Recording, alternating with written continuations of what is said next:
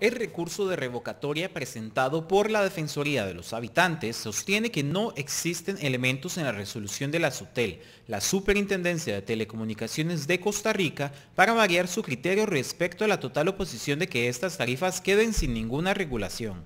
Según nota del ombudsman costarricense, para que SUTEL pueda, valide y legalmente declare incompetencia efectiva al mercado minorista de telefonía móvil, tiene que cumplir a cabalidad con lo ordenado por el artículo 50 de la Ley General de Telecomunicaciones, emitir una resolución debidamente fundamentada.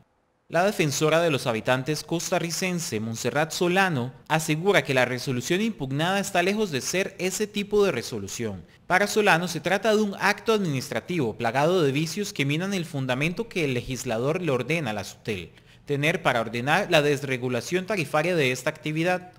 El comunicado además señala que en esas condiciones la declaratoria de competencia efectiva de este mercado es contraria al ordenamiento jurídico.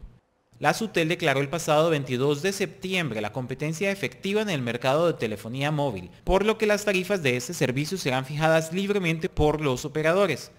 El mercado de la telefonía móvil en Costa Rica estaba a cargo del monopolio estatal Instituto Costarricense de Electricidad, ICE, hasta que en 2011 fue abierto a la competencia privada, y a partir de ese entonces las tarifas eran reguladas por la SUTEL para evitar la competencia desleal.